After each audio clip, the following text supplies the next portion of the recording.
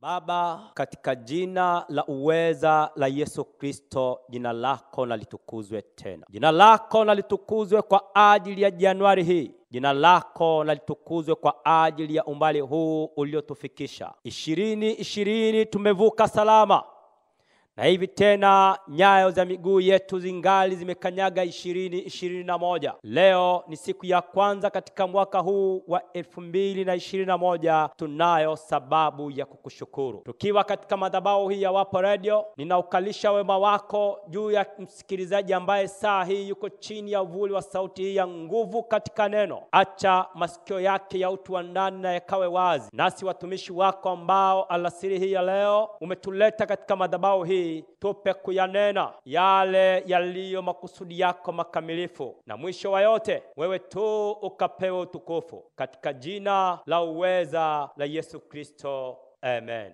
Haleluya! Mpenzi msikilizaji wa mawimbi ya 98.1 Wapo Radio FM, ninakusalimu katika jina la Bwana na Mwokozi wetu Yesu Kristo.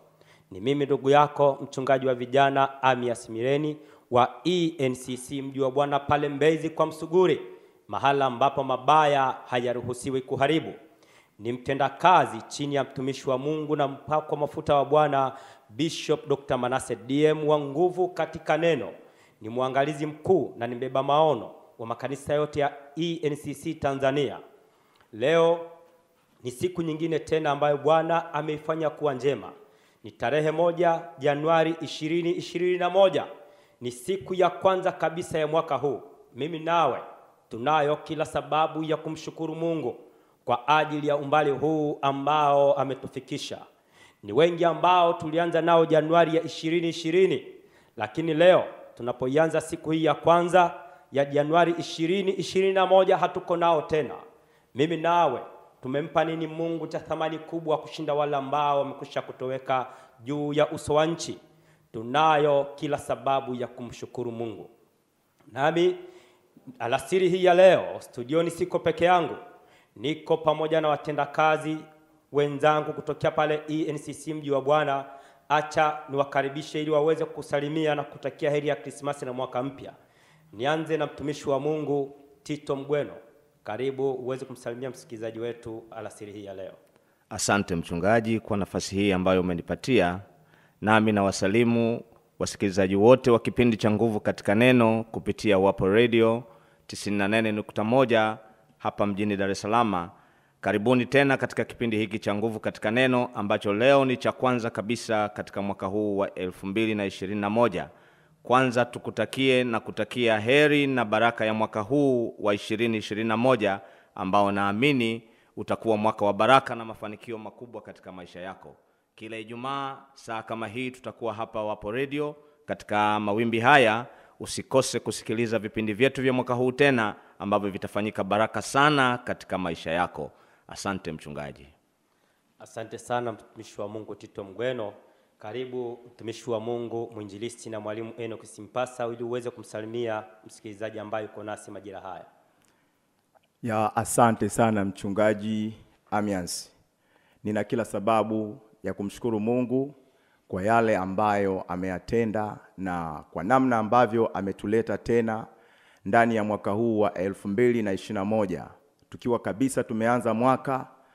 Tuna mambo mengi ambayo tumeyaona kabisa Mungu ameyatenda katikati yetu, na hivyo basi mimi ninakutakia heri ya mwaka mpya msikilizaji, kama ambavyo watumishi wenzangu wametangulia kusema, ndio kwanza tumefungua mwaka na Ijumaa hii ya leo tarehe moja tumeanza rasmi tena kurusha vipindi hivi vya nguvu katika neno. Wewe usipitwe na wala usikae mbali, karibu na uendelee kufuatilia, uambatane pamoja nasi kuanzia siku ya leo na katika majuma mengine yajayo. Asante sana. Asante sana mtumishi wa Mungu mwinjilisti na mwalimu Enoch Simpasa. Msikilizaji wa mawimbi ya 98.1 Wapo Radio FM, nikupongeze kwa kuwa nasi kwa mwaka wote uliopita. Umekuwa msikilizaji wetu mzuri, umekuwa ukifuatilia vipindi vyetu, na nikualike tena uendelee nasi katika mwaka huu wa 2021. Yako mengi ambayo Bwana atatenda katika maisha yako kupitia katika kipindi hiki cha nguvu katika neno. Alasiri hii ya leo tunamshukuru Mungu, ikiwa ni siku ya kwanza kabisa ya mwaka huu. Tumekuwa na safari ndefu tukiwa katika mlima wa kumsubiri Bwana kwa maombi ya siku arobaini ambayo tulianza tarehe 22 Novemba 2020 na 40, siku ya 40 ilikuwa ni siku ya jana tarehe 31, lakini kwa maono ambayo Mungu amempa mtumishi wake ameongeza siku tatu kwa ajili ya crown maombi haya, na maombi yetu yataishia tarehe tatu Januari ambayo ni siku ya Jumapili. Tumemwona Mungu katika safari hii ya mfungo huu wa siku arobaini. Mungu amejidhihirisha dhahiri katikati yetu na matendo yake yamekuwa ni makubwa. Na katika safari ya siku arobaini tulikuwa na meza ya Bwana kwa siku ishirini na moja mfululizo ambayo tulianza tarehe kumi na moja Disemba na kuhitimisha tarehe 31 Disemba siku ya jana. Na leo hii ikiwa tayari tumekwisha toka katika ibada ya kumshukuru Mungu kwa matendo makuu na kwa umbali ambao ametufikisha kuiona Januari hii, tumemshukuru Mungu kwa moyo uliopondeka, na ndiyo maana alasiri hii tunakushirikisha tena neema hii, na uendelee kumshukuru Mungu zaidi na zaidi. Na siku ya kesho ambayo ni tarehe mbili Januari 2021 ni kukaribishe katika ibada maalum ya kusifu na kuabudu ambayo itaanza majira ya saa tatu ya asubuhi. Mungu wetu ni Mungu akaaye katikati ya sifa, nasi inampasa tumwabudu yeye katika roho na kweli. Kona yoyote uliko, njoo tujumuike kwa pamoja, ili tupate kumsifu Mungu na kumwabudu yeye kwa yale maku, mambo makuu makubwa ambayo ametutendea kwa mwaka uliopita wa ishirini ishirini. Dunia imetaharuki, yako mengi ambayo yametokea mwaka ishirini na ishirini. Wengi wametoweka juu ya uso wa nchi.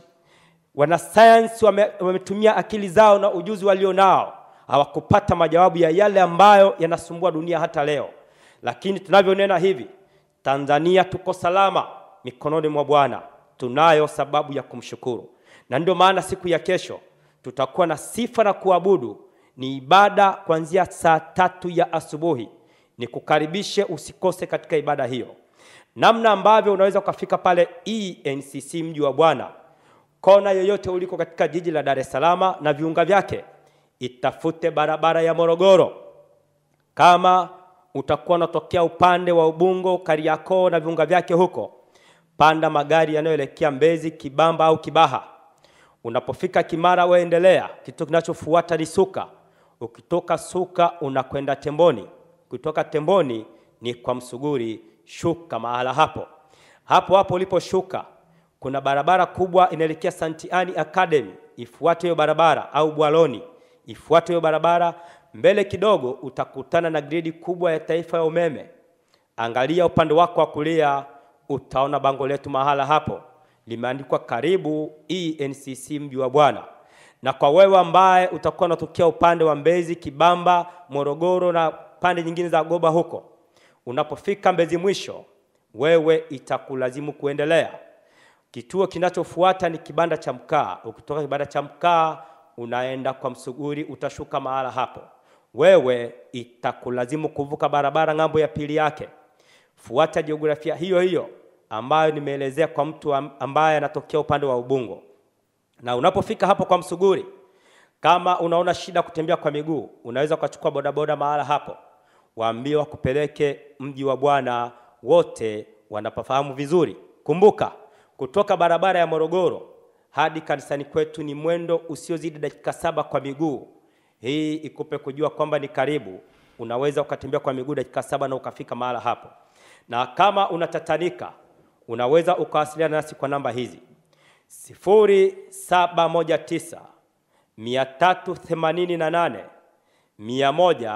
tisa mia tatu themanini na nane mia moja hamsini na tisa.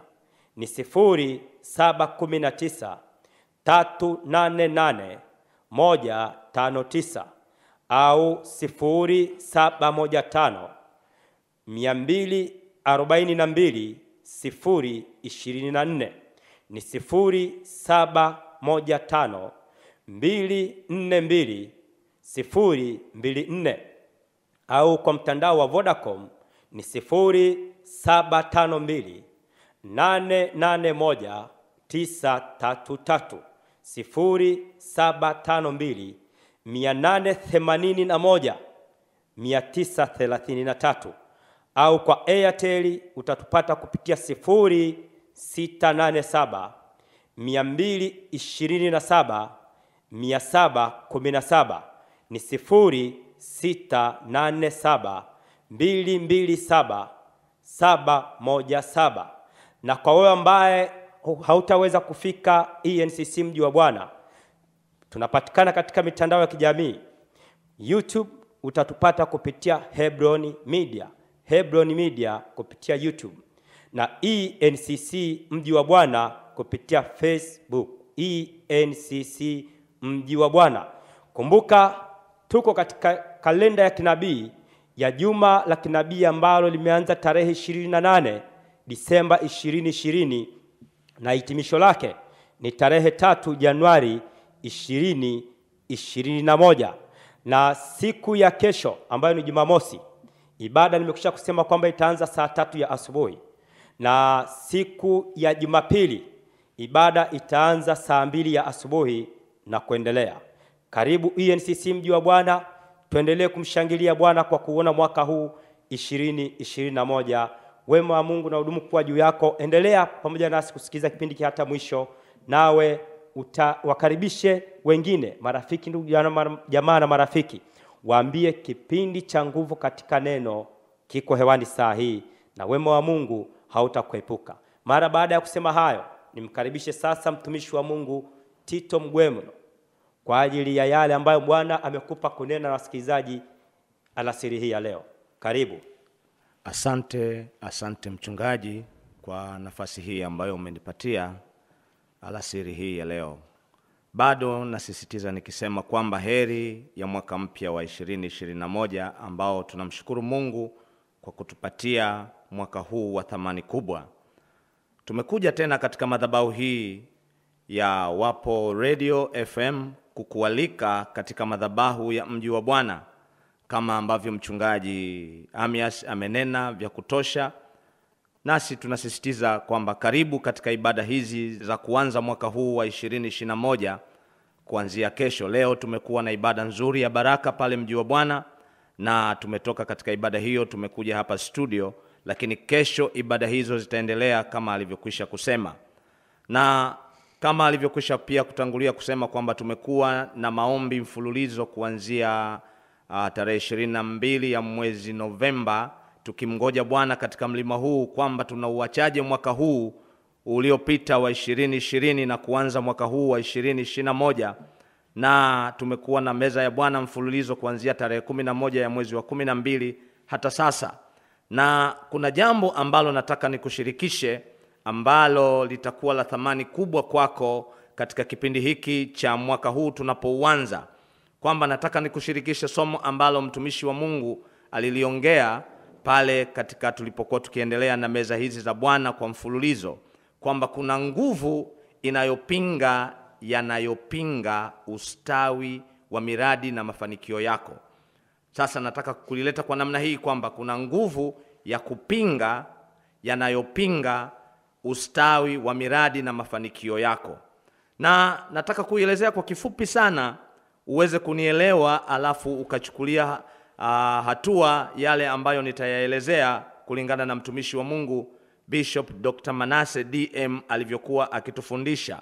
Najua haikuwa rahisi kwako kuipata kwa wepesi, lakini katika njia hii ya kupitia Wapo Radio nataka nikushirikishe kwa kifupi kile ambacho Bwana ameweka katika mioyo yetu. Ustawi ni nini hasa? Ustawi ni zaidi ya kuwa na fedha. Ustawi ni zaidi ya kuwa na mali. Ustawi unagusa karibu utu wa kila mtu na mafanikio na maisha yake yote. Ustawi ni kuwa na afya iliyo njema. Ustawi ni kuwa na heshima inayompa mtu kukaa vyema katika jamii na mahusiano yake ya kijamii yalivyo pale anapoishi. Huo ni ustawi. Kuna kitu kinachoitwa projects, navyo vina ustawi katika kila eneo la maisha haya.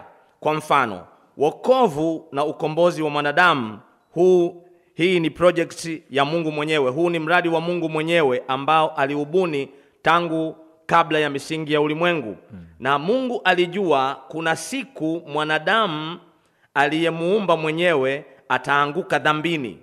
Kwa hiyo watu wanapoanguka dhambini siku hii ya leo, Mungu haimsurprise, haimshangazi. Alijua kwamba iko siku watu wana, wataanguka katika dhambi. Alijua kwamba kuna siku pia mwanakondoo atakuja, atachukua dhambi ya dunia, atauawa na kumwaga damu yake na kuchukua dhambi ya dunia. Sasa kuna hawa satanic watcher ambao waliwaoa wanadamu wakazaa nao watoto wanaoitwa wanefili ambao hawawezi kufiwa na Yesu. Hawa wanefili hawawezi kufiwa na damu ya Yesu ikawaokoa na wakapata ukombozi. Hii haiwezekani kwao, na hawa walianza kupinga huu mradi au hii project ya Yesu kuja kuokoa dunia. Hawa wanefili walianza kuipinga. Mungu alipomchukua Ibrahimu alimwambia, toka wewe katika jamaa yako nami nitakufanya uwe taifa kubwa. Na kila kosa ambalo Ibrahim alilifanya lilikuwa linalenga kupinga mradi huu wa yeye kuwa taifa. Kosa la kwanza ambalo Ibrahim alilifanya, Ibrahim anapofika kule Misri, Ibrahim anapofika kule Misri na Sara mke wake, Farao anamuona Sara kwamba ni mrembo, anamtamani akamuuliza Ibrahim, huyu ni nani? Ibrahim akafanya kosa akasema, huyu ni dada yangu. Ib, uh, na Farao akamchukua Sara awe mke wake, lakini Mungu alipomuonya katika ndoto alimwacha Sara arudi kwa Ibrahim. Sasa kuna kosa pale ambalo lingetokea kama je, Farao angechukua Sara awe mke wake akazaa watoto, je, lile taifa ambalo Mungu alitazamia lingelikuwepo? Angekuwa ameshaharibu ule mpango wa Mungu, ule mradi wa Mungu wa Ibrahim kumfanya kuwa taifa ungekuwa umeharibika pale, kwa sababu taifa ambalo Mungu alilitaka alitaka litoke katika tumbo la Sara na katika viuno vya Ibrahim. Kwa hiyo Ibrahim angekosea ule mradi, angeuvuruga mwenyewe. Jambo la pili, Sara anapompa Ibrahim Hajiri azae naye, Ishmael anazaliwa na wanataka kumhusisha na mradi huu Ishmael wanataka kumhusisha na mradi huu wa Mungu kumfanya Ibrahim kuwa taifa, lakini Mungu anasema hapana, huyu Ibrahim, huyu Ishmael siye ambaye nilimkusudia aanzishe taifa lile ambalo ninahitaji. Kwa hiyo Ibrahim anakosea tena kwa mara nyingine. Lakini jambo la tatu, inaenda mwendo mrefu hadi kufikia watoto wa kiume kuuawa katika nchi ya Misri. Wanataka kumuua Musa aondoke katika kile kizazi cha kutengeneza lile taifa, pale ambapo wangekosea kabisa ule mradi wa Mungu ambao ungeenda pembeni, usingefanikiwa. Lakini jambo la nne, katika kutaka kuua mradi huu wa Mungu, Herode naye anafanya jambo lile lile, anaamua kuwaua watoto wa kiume katika nchi ile ambayo Yesu alizaliwa, ili tu ampate Yesu amwondoe, ili ule mradi wa kimungu upate kufa. Lakini bado Mungu analinda mradi wake usife. Lakini jambo la tano, shetani anakutana na Yesu uso kwa uso nyikani, na hii ilimpelekea kutaka kuua ile project ya Mungu kuliokoa taifa. Shetani alitaka kuliua. Shetani anamuuliza Yesu, kama wewe ni mwana wa Mungu na umekuwa na, umeona njaa, basi geuza mawe haya yawe mkate upate kula. Lakini Yesu aligundua kwamba hapa nikifanya kosa la kugeuza haya mawe kuwa mkate nipate kula, nitakuwa nimeharibu ule mradi ambao umenileta katika uso wa, wa dunia.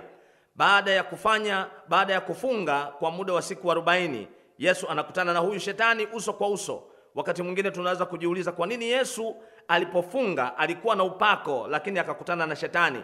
Shetani alikwenda tu amjaribu, lakini hakumpata. Kwa hiyo ile projects ya Mungu bado iliendelea kustawi. Na labda kwa leo niongelee jambo la mwisho pale, kwamba jambo la sita ni kwamba Yesu amefika mahali pa kusulubiwa, amehukumiwa na Pilato, lakini hawakuona kosa lolote kwa Yesu. lakini watu bado wanasema asulubiwe, asulubiwe, asulubiwe, na hawakujua kwamba kule kusema asulubiwe, asulubiwe ndipo walikuwa wanachochea ule mradi wa Mungu ukae vizuri katika sehemu yake na nafasi yake vizuri. Hawakujua kama vile wanavyosema asulubiwe na Yesu anasulubiwa ndivyo ambavyo vilimleta katika uso wa nchi ili kuokoa ulimwengu. Kwa hiyo mradi wa Mungu pale ulipata nguvu ukastawi, kwa sababu kile alichokuwa walichokuwa wakikifanya wale watu walikuwa wanamwelekeza katika kasi ya kufikia ule mradi ufanikiwe. Labda wangemwacha Yesu aishi milele mpaka azeeke, ule mradi usingefanikiwa, lakini kwa kusema kwao wasulubiwe, ule mradi ulifanikiwa.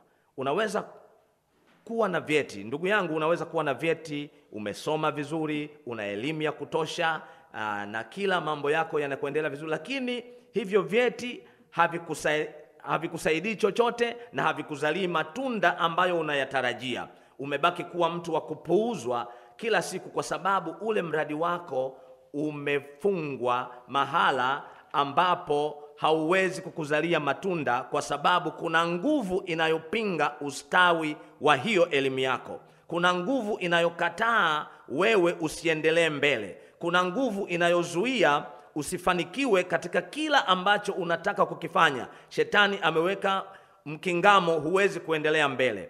Unahitaji nguvu inayopinga nguvu hiyo, ili uweze kuendelea mbele, ili uweze elimu yako iweze kukuzalia matunda, ili hiyo biashara yako iweze kukuzalia matunda unayoyatazamia. Kwa hiyo unahitaji nguvu inayopinga hizo nguvu, ili uweze kuendelea, na nguvu hii iko katika damu ya Yesu. Mungu akinipatia nafasi tena katika kipindi hiki, nitakuelezea mambo mengine yanayofuata ya kuzingatia ili uweze kuwa salama katika uh, maisha yako. Asante mchungaji, nimeeleza kwa kifupi kwa kulingana na muda wetu. Naomba niishie hapa kwa awamu hii. Asante mchungaji. Asante sana mtumishi wa Mungu Tito Mgweno.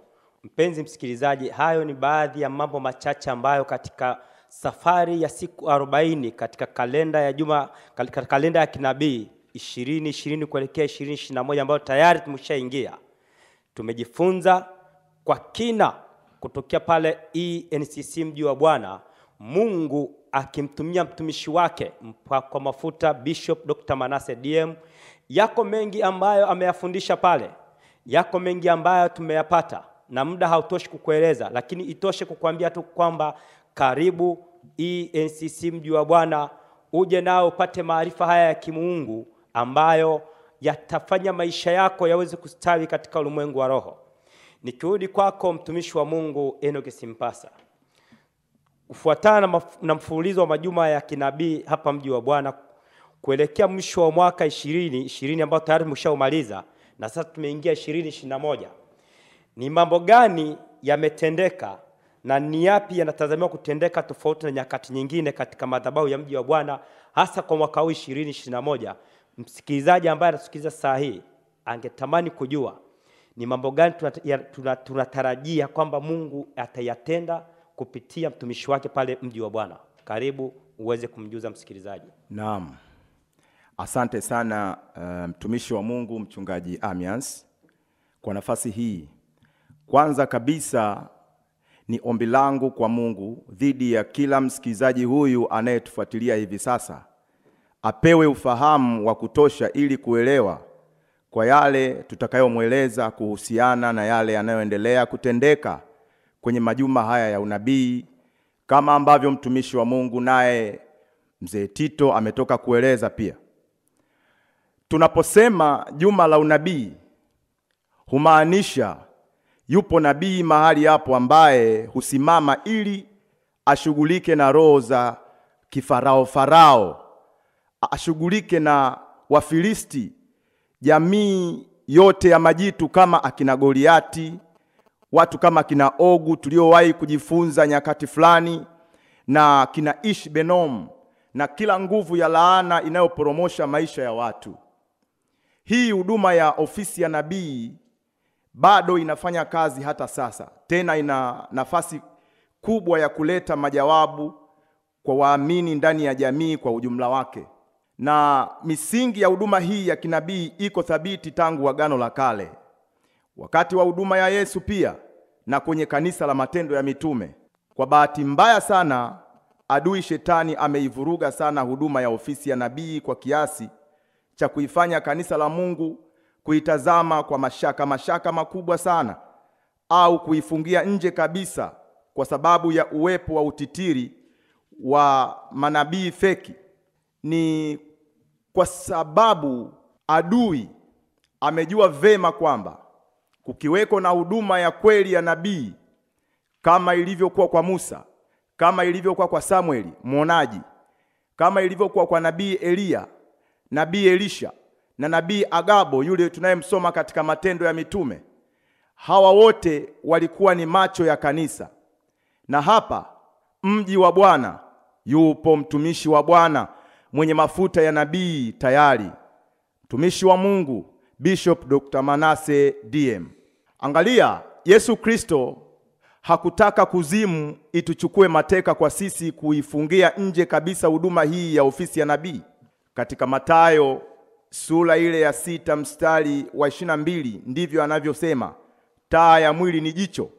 Basi jicho lako likiwa safi, mwili wako wote utakuwa nuru. Jicho hapa ndiyo huduma ya nabii na mwili ni kanisa la Kristo. Ndani ya majira haya katika madhabahu ya mji wa Bwana kuna uwepo wa Mungu na mdhihirisho wa matendo makuu ya Mungu tumekwisha kuyaona tayari, yanaendelea kutendeka. Hatutamani hata kidogo kuondoka chini ya wingu hili. Ni kipindi ambacho Mungu ametupandisha na kutuleta katika mlima wa maombi ya mfululizo wa kufunga siku arobaini kama tulivyokueleza hapo mwanzo. Mbali na hayo, tumekuwa na ibada ya meza ya Bwana kwa mfululizo wa siku ishirini na moja. Hizi sio ibada za mazoea wala sio ibada za kawaida, bali imekuwa ni ufunuo wa yale yaliyoandikwa katika maandiko matakatifu. Mpendwa msikizaji unayetufuatilia sasa, wewe ambaye maisha yako yamekosa mwelekeo, nikwambie tu, hakuna msaada kwa mizimu, hakuna msaada kwa waganga, wala hakuna msaada kwa wanadamu. Njoo kwenye madhabahu ya Mungu wa kweli ENCC, utaona uzuri wa Mungu Jehova, na ndipo mpenyo wako utakapotokea. Na kwa wewe Mkristo uliyeokoka ndani ya majira haya, haikupasi kuenenda kama mtoto mchanga ambaye yeye huweza kujichanganya mahala popote na watu wowote bila kujua au kujali athari na hatari zitakazompata. Sisi tunakukaribisha katika madhabahu ya mji wa Bwana kwa sababu ndipo mahali ambapo Mungu ametuelekeza mengi yanayotosha kuua utu ule wa kimwili ndani ya majuma haya ya kinabii. Kwa wengi haya ndiyo majira ya wao kutembeleana na kusafiri sehemu mbalimbali ili kupeana pongeza za sikukuu, lakini sisi Mungu ametuelekeza kuendelea kutulia katika mlima wa maombi, na sio kwa sababu hatuna ndugu, sio kwa sababu hatuna jamaa, marafiki, bali ni kwa sababu haya ndiyo majira ambayo adui shetani na ufalme wake wote wako makini kimkakati kuhakikisha wanaratibisha mengi ya uovu kwa watu na kuwapandia kila pando la uharibifu katika maisha yao. Hii ndiyo maana unaweza kuona hata wale wasiokuwa na Yesu kwa hakika, hiki ni kipindi ambacho wanakimbilia katika madhabahu za giza, yaani kwenye matambiko na kwenye makaburi ya wazee ili kutafuta msaada. Nikwambie mpendwa msikizaji, ondoka mahala pa matambiko na kuomba msaada kwa wafu. Mchungaji Amias, naomba utupatie utusomee kitabu cha Isaya sura ya nane mstari wa 19 hadi mstari wa ishirini. Haleluya! Kitabu cha nabii Isaya sura ya nane mstari wa 19 na ule wa ishirini. Na wakati watakapokuambia tafuta habari kwa watu wenye pepo na kwa wachawi waliao kama ndege na kunong'ona, je, haiwapasi watu kutafuta habari kwa Mungu wao? Je, waende kwa watu waliokufa kwa ajili ya watu walio hai? Mstari wa ishirini, na waende kwa sheria na ushuhuda, ikiwa hawasemi sawasawa na neno hili, bila shaka kwa hao hapana asubuhi. Haleluya! Haleluya, haleluya. Unaona jinsi anavyouliza mtumishi wa Mungu na nabii, wewe unatafuta unatafuta msaada kwa nani? Jambo moja unalopaswa ulijue, mpendwa msikilizaji wangu, ni kwamba hakuna namna ambayo Mungu anaweza kuingilia kati maisha yako kama haujamkaribisha na kumfanya awe wa kwanza katika maisha yako.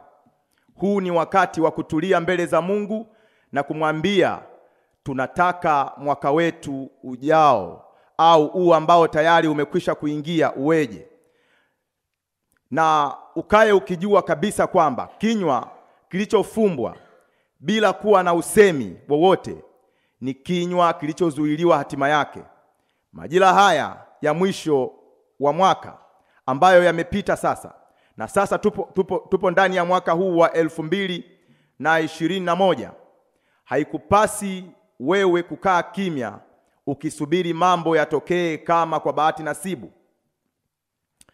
Upo mstari, mstari mmoja maarufu sana ndani ya maandiko matakatifu katika Hosea 4:6 ambao kila mmoja wetu tulio wengi tunaufahamu, nao unasema watu wangu wanaangamizwa kwa kukosa maarifa.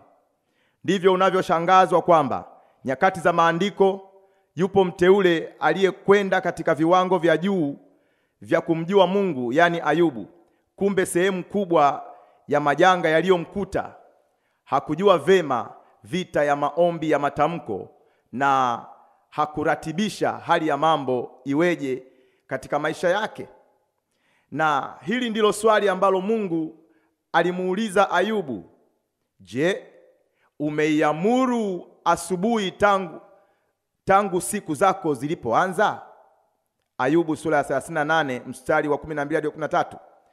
Umeyajulisha map, mapambazuko mahali pake? Kama Mungu alisubutu kumuuliza Ayubu swali kama hili, vipi kuhusu mimi na wewe? Swali hili Mungu anamuuliza mtu leo. Je, umeamuru mwaka huu uweje? Umeamuru mwaka huu uweje? Mungu pia alimwambia nabii Ezekieli, toa unabii kuhusiana na mifupa mikavu katika Ezekieli sura ya 37 mstari wa kwanza hadi wa tano. Mchungaji Amias, naomba utupatie utusomee hapo. Haleluya. Kitabu, kitabu cha nabii Ezekieli sura ya 37 mstari wa kwanza mpaka ule wa tano. Mkono wa Bwana ulikuwa juu yangu, naye akanichukua nje katika roho ya Bwana, akaniweka chini katikati ya bonde, nalo limejaa mifupa. Akanipitisha karibu nayo pande zote, na tazama, palikuwa na mifupa mingi katika ule uwanda, nayo tazama, ilikuwa mikavu sana.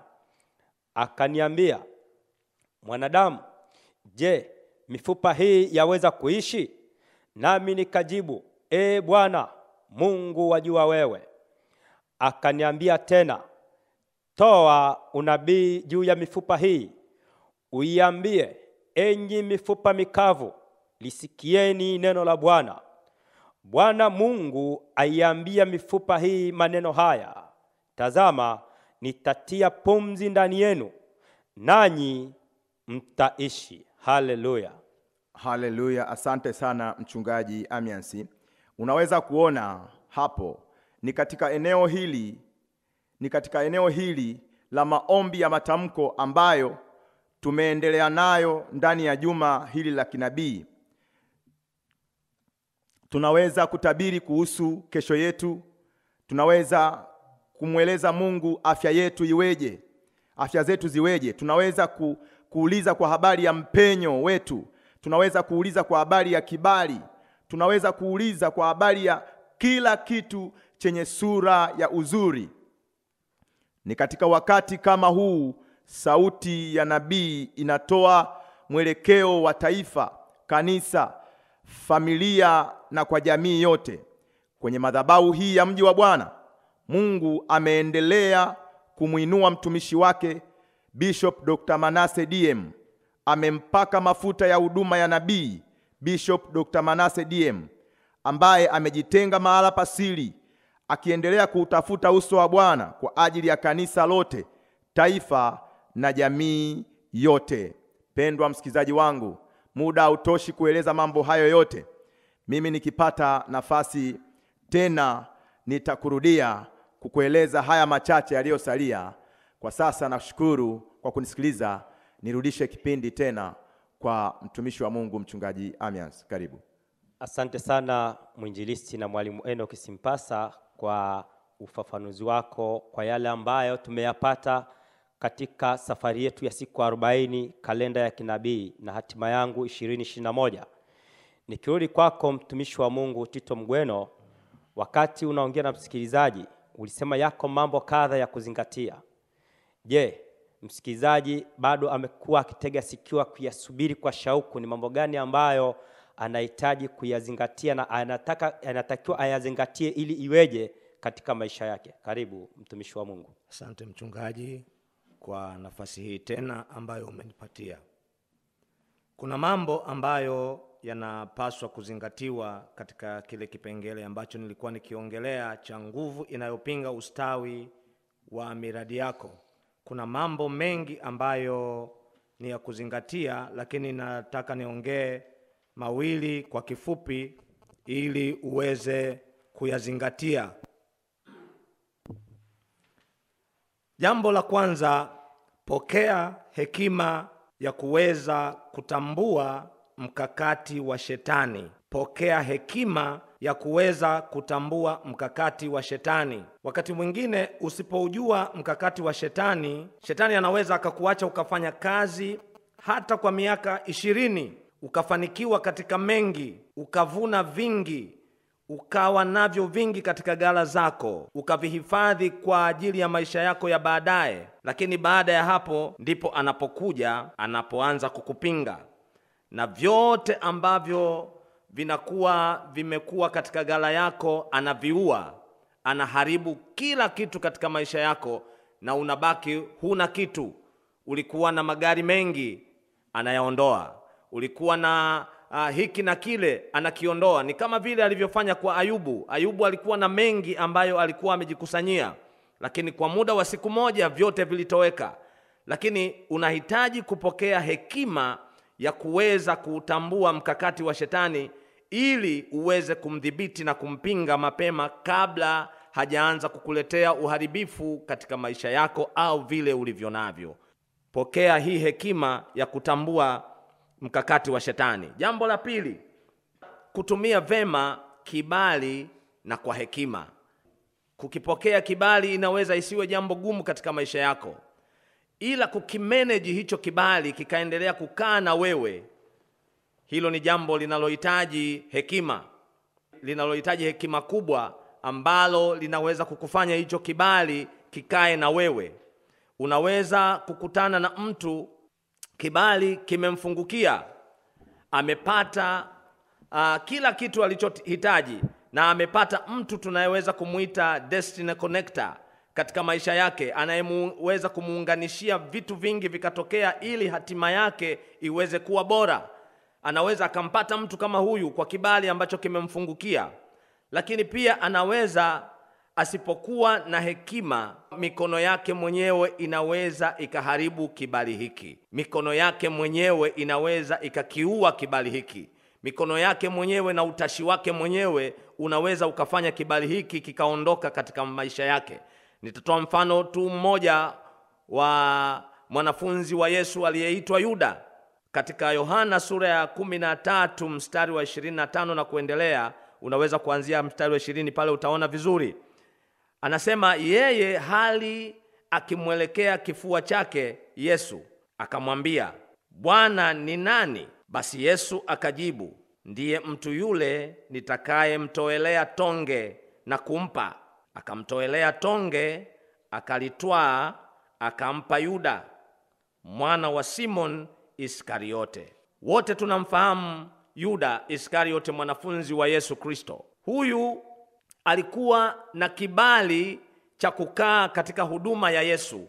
Yeye uh, tunasoma kwamba alikuwa ni mtunza hazina katika ministry hii ya Yesu. Alikuwa na wadhifa mkubwa katika huduma ile ya Yesu. Alikuwa na kibali kilichokuwa kikubwa katika huduma ile, lakini hakuona kukaa na kile kibali kuwa ni kitu cha maana.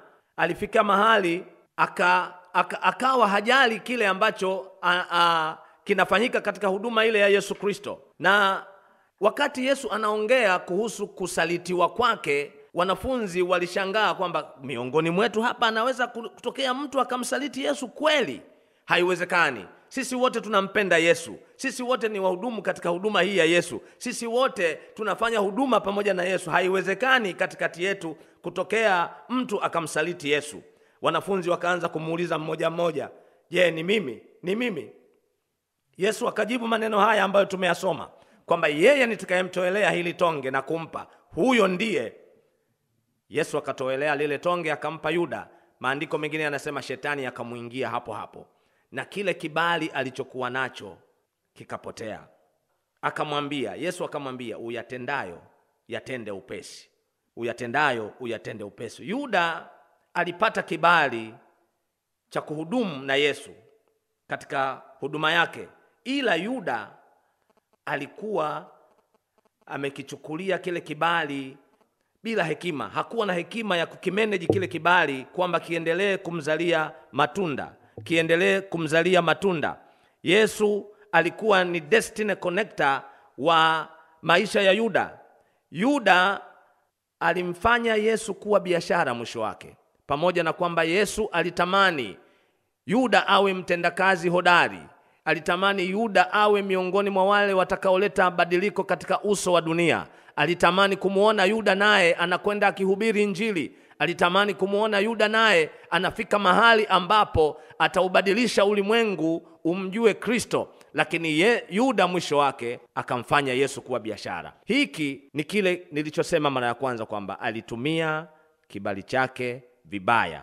Kwa hiyo ndugu mpendwa, katika mambo ya kuzingatia yako mengi, lakini pokea hekima ya kuweza kutambua mkakati wa shetani, na pia tumia vema kibali kwa hekima. Hiki kitakuwezesha kupinga yale yanayopinga ustawi wa maisha yako. Asante mchungaji. Na kwa kipande hiki naomba niishie hapa. Kama nitapata nafasi tena mwishoni, kama nafasi itakuwepo, nitaongea jambo moja la mwisho niweze kumalizia hapo. Asante mchungaji. Asante sana mtumishi wa Mungu Tito Mgweno kwa yale machache ambayo umeweza kumweleza msikilizaji. Mpenzi msikilizaji, inawezekana umefungulia redio yako, umekuta kipindi tayari imekwisha anza, nawe unajiuliza watumishi hawa wa Mungu wanatokea wapi? Sisi ni watendakazi chini ya mtumishi wa Mungu na mpakwa mafuta wa Bwana Bishop Dr. Manase DM wa nguvu katika neno, mbeba maono wa ENCC Tanzania, na tunapatikana pale Mbezi kwa Msuguri, mahala ambapo mabaya hayaruhusiwi kuharibu. Haya yote ambayo tunanena nawe alasiri hii ya leo ni baadhi ya yale machache, ni baadhi ya mengi ambayo tumejifunza katika kalenda ya kinabii ya mfungo wa siku arobaini, lakini yako mengi ambayo tumejifunza na bado tunaendelea kujifunza, kwa sababu hivi tunavyoongea nawe tuko katikati ya juma hili. Maongeo ya hatima yangu hayatakuwa na mwisho, ambayo tumeanza tarehe ishirini na nane na tunahitimisha tarehe tatu Januari ishirini ishirini na moja. Kwa hiyo bado hujachelewa, tunayo siku ya kesho na kesho kutwa. Njoo nawe uje upate ufahamu wa kiungu ujue namna ya kuenenda katika ulimwengu wa roho, nawe fungu lako halitaachwa nje. Nikirudi kwako mtumishi wa Mungu Enoch Simpasa, ulisema bado uko na mengi ya kumweleza msikilizaji ambayo tumeyapata katika kalenda hii ya kinabii katika mfungo na safari yetu ya siku arobaini. Hebu mweleze kwa uchache msikilizaji ili aweze kujua ni kwa nini tunamhimiza na kumsisitiza umuhimu wa yeye kuja kujifunza neno pale ENCC mji wa Bwana. Karibu mtumishi wa Mungu. Asante mchungaji Amians. Kweli kabisa, kama ambavyo tumeendelea kusema na tumeendelea kuyaona katika kipindi chote hiki ambacho ni kimekuwa ni kipindi kizuri cha e, juma la kinabii. Tumemaliza mwaka na tumeingia mwaka mwingine. Chini ya mafuta haya, wengi tumeendelea kumjua Mungu, tumeendelea kusikia sauti ya Mungu na kuitambua vyema. Tumepokea ufunuo unaotupatia tofauti na kwenda katika viwango vya kumwabudu Mungu na kuzidi kumfahamu. Na ndani ya majira haya ya juma la unabii ambalo lilianza hiyo tarehe ishirini na mbili Novemba eh, eh, mwisho wa mwaka mpaka kufika mwisho wa mwaka tumeshuhudia kwa macho yetu ma, mambo kadha wa kadha yaliyokuwa yamekataa kuwaacha watu nyakati zote, lakini mara hii kwenye madhabahu ya mji wa Bwana vitu vingi vimewaachia watu. Ni kwa sababu kama ilivyokuwa kwa wale mitume wa kwanza, walimega mkate kila siku walipokutana na Mungu aliwazidisha kila eneo la maisha yao. Ndivyo ambavyo mtumishi wa Mungu Bishop Dr. Manase DM alivyopata ufunuo wa kutushirikisha meza ya Bwana kwa siku ishirini na moja ndani ya mfungo wa siku arobaini kama tulivyokuambia. Mpendwa msikizaji, Yesu nakumbuka aliwaambia wanafunzi wake kwamba juu ya mwamba huu atalijenga kanisa lake, wala milango ya kuzimu haiwezi kulishinda kamwe. Maneno haya hayakuwa tamko la kimzaa hata kidogo. Ndiyo maana tukizitumia silaha zilizoachiwa katika maandiko kwa ufunuo sahihi, kuzimu inapata anguko. Ndivyo meza ya Bwana ilivyowapa ushindi Israeli kwa asilimia mia wakatoka Misri kwenda nchi ya ahadi. Mimi nikusisitize, niendelee kukusisitiza, kukualika kwenye madhabahu ya mji wa Bwana katika hizi siku ambazo e, mtumishi wa Mungu mchungaji amekueleza. Tuna siku ya kusifu na kuabudu, pia kuna siku ya Jumapili tulipokwisha kuingia mwaka huu mpya wa elfu mbili na ishirini na moja. Hapa katika madhabahu hii ya mji wa Bwana kuna silaha nyingi za kutosha kuweza kuyapiga chini mabaya yote yaliyokufuatilia yalikufuatilia mwaka mzima, na kuna mengine ambayo yalikula kiapo kwamba yataendelea kukuandama ndani ya mwaka wa elfu mbili na ishirini na moja kama Farao alivyokuwa akiwaandama wana wa Israeli. Wewe unapokuja mahali hapa, Mungu atakutokezea kwa ushindi, uende, uende katika mwaka wa elfu mbili na ishirini na moja hali ukiwa na nguvu kama nguvu za nyati. Niishie hapa ili kusudi niweze kumpisha mchungaji aweze kusema neno jingine la kutubariki. Mungu mwema na akubariki na wema wa, Mungu uzidi kuwa juu yako. Asante sana mtumishi wa Mungu mwinjilisti na mwalimu Enoch Simpasa. Mpenzi msikilizaji wa mawimbi ya 98.1 Wapo Radio FM, tunakushukuru kwa kuwa nasi kwa muda wote huu, na muda wetu umekoma kabisa, lakini ili uweze kuyapokea haya na yawe yako, ni lazima uwe mmempokea Yesu Kristo kuwa ni Bwana na Mwokozi katika maisha yako, na maanisha uokoke. Yesu awe upande wako ili aweze kupigana vita yako, nao unyamaze kimya. Na kwa dakika hizi basi nimwalike mtumishi wa Mungu mwinjilisti Enoch Simpasa ili aweze kukuongoza sala ya toba, na mara baada ya hapo nitahitimisha kwa maombi mafupi. Karibu mtumishi wa Mungu Enoch Simpasa. Nikushukuru sana mchungaji Amiansi kwa ajili ya nafasi hii tena. Mpendwa msikilizaji ambaye umetufuatilia vema katika mfululizo wa maneno haya, hayakuja kwa jinsi ya kujifurahisha. Wewe ambaye uko nje ya Kristo, upo nje ya agano la Mungu, yote unayoyataka ni kwamba hauwezi kuyapata kama uko nje ya agano la Yesu Kristo. Saa hii unaponisikiliza, fungua moyo wako ili kusudi niweze kukuongoza sala ya toba na uweze kumpokea Yesu awe Bwana na Mwokozi katika maisha yako ili mema yakapate kukujilia. Sema, e Bwana Yesu, ninakushukuru sana kwa neno lako ambalo nimelisikia kutokea katika madhabahu ya mji wa Bwana. Mimi nimejijua ya kwamba sifai mbele zako, mimi ni mwenye dhambi. Bwana, kuanzia sasa ninatubu dhambi zangu ninazozijua na nisizozijua. Leo hii ee Bwana Yesu, ninauleta moyo wangu kwako ili wewe unisamehe. Ingia ndani ya maisha yangu, ingia ndani ya moyo wangu, uwe Bwana na Mwokozi katika maisha yangu. Ulifute jina langu katika kitabu cha hukumu na uliandike katika kitabu cha uzima cha mwana kondoo. Damu ya Yesu Kristo inifunike. Ninajitenga mbali kuanzia leo na kila chochote cha maagano ambayo yaliniweka mbali na wewe. Ee Bwana Yesu, nipe nguvu ya kuendelea mbele, nipe nguvu ya kushinda dhambi. Baba, katika jina la Yesu Kristo, nimekuamini na nimeokoka. Katika jina la Yesu Kristo, amen. Amen. Hongera sana msikilizaji wangu kwa kuokoka na kumpokea Yesu Kristo kuwa Bwana na Mwokozi katika maisha yako. Lakini kabla sijahitimisha kwa maombi, tunapatikana wapi? Huduma yetu iko pale Mbezi kwa Msuguri, ni ENCC mji wa Bwana Mbezi kwa Msuguri. Namna ambavyo unaweza ukafika pale mji wa Bwana Mbezi kwa Msuguri, ukiwa katika jiji la Dar es Salaam na viunga vyake, itafute barabara ya Morogoro. Kama unatokea upande wa Ubungo, Kariakoo, Buguruni na pande nyingine za Mwenge na huko, panda magari yanayoelekea Mbezi, Kibamba au Kibaha. Unapofika Kimara Mwisho, endelea. Kituo kinachofuata ni Suka. Ukitoka Suka unaenda Temboni. Kutoka Temboni ni kwa Msuguri, unashuka mahala hapo. Upande huo huo ulioshuka iko barabara kubwa inaelekea Bwaloni au Santiani Academy. Ifuate hiyo barabara. Mbele kidogo utakutana na gredi kubwa ya taifa ya umeme. Angalia upande wako wa kulia, mwanzo kabisa hiyo gredi, kabla hujaanza kuitembelea, kuna kibao chetu mahala hapo kimeandikwa karibu ENCC mji wa Bwana. Barabara ipo kwenye mwinuko kidogo, ifuate hiyo barabara. Ni hatua chache sana utakuwa umefika kanisani kwetu.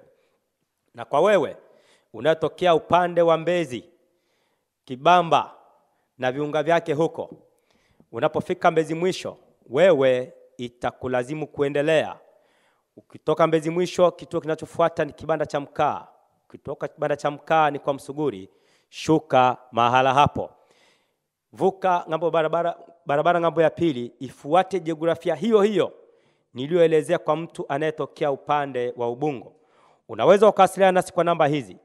0719 388 159 au kwa 0715 242 024 au 0715 881 933 au kwa Airtel 0687 227 717.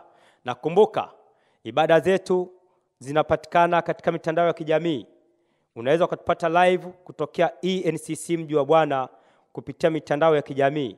YouTube tutafute kupitia Hebron Media, Hebron Media kwa YouTube na ENCC mji wa Bwana Facebook, ENCC mji wa Bwana Facebook. Kabla sijaomba, watumishi wa Mungu, muage wasikilizaji ambao tulikuwa nao kwa kipindi chote hiki cha dakika hizi sitini, na mwatakie heri ya mwaka mpya tena. Karibuni. Haleluya! Tuna kila sababu tena za kumshukuru Mungu. Wapendwa wasikilizaji wetu, kwa umbali huu uh, tunayo mengi ya kusema, lakini kwa sababu ya muda tuwatakie heri ya mwaka mpya ambao utakuwa ni heri kwa mwaka mzima wote, na mtaendelea kutufuatilia kwenye vipindi vyetu kama ambavyo tumesema, na ni shauku yetu kwamba ninyi mtakuwa eh, pamoja na sisi wakati mwingine wowote. Karibuni. Shalom, shalom. Asante sana kwako mtumishi Tito Mgweno, Wage msikilizaji. Ah, nasema asante kwa nafasi hii ambayo mchungaji umenipatia kuweza kuwaaga wasikilizaji wetu. Kwanza ni kushukuru msikilizaji wetu wa Nguvu katika Neno. Asante kwa kuwa pamoja nasi katika siku hii ya leo. Pengine labda leo ni mara yako ya kwanza kusikiliza kipindi hiki, lakini kipindi hiki huwa kinakujia kila siku kama ya leo ya Ijumaa kuanzia saa tisa na kuendelea mpaka pale saa kumi. Pia karibu sana, nikukaribishe katika ibada zetu zinazoendelea pale mji wa Bwana. Karibu kila siku tuna ibada, siku ya Jumatano na siku ya Jumapili. Jumatano ni saa kumi jioni na Jumapili tunaanza ibada zetu saa mbili asubuhi. Karibu sana sana, utabarikiwa. Hiki ni kionjo tu kinachokuletea uh, kuelewa mji wa Bwana kuna kitu gani kinachoendelea mahali pale, lakini karibu usikie kile ambacho Mungu anakwenda kusema nawe wewe mwenyewe ukiwa katika nyua zile za mji wa Bwana, mahali ambapo mabaya hayaruhusiwi kabisa kuharibu. Basi nikukaribishe pia siku ya kesho Jumamosi katika ibada yetu ya kusifu na kuabudu itakayoanza saa tatu asubuhi, na pia Jumapili tutaanza ibada yetu saa mbili asubuhi kwa maombi. Karibu sana na Mungu akubariki. Usikose kusikiliza vipindi vyetu vya Nguvu katika Neno kila Ijumaa, na Mungu atakuwa pamoja nawe. Asante mchungaji. Asante sana mtumishi wa Mungu. Mpenzi msikilizaji, weka mikono yako kifuani, niombe kwa ajili yako alasiri hii ya leo. Jehova uliye Mungu, jina lako na litukuzwe tena. Jina lako litukuzwe, uliye Alfa na Omega. Tumeuona mkono wako umbali huu, ishirini ishirini umekuwa pamoja nasi, na leo tena siku hii ya kwanza ishirini ishirini na moja tumeuona mkono wako dhahiri katikati yetu. Acha iwe ya kwamba katika mwaka huu wote miguu yetu haitasogezwa na adui, uwe ngao katika maisha yetu, na nena amani na nena utulivu na nena ulinzi juu ya msikilizaji huyu aliye chini ya uvuli wa sauti hii ya nguvu katika neno. Mungu mwenye enzi, pokea wewe sifa, shukrani na utukufu kwa haya yote ambayo umetutendea na bado ungali ukitutendea, na ukalisha wema wako juu yao vivyo, katika jina la uweza la Yesu Kristo, amen. Shalom, shalom. Karibu ENCC mji wa Bwana.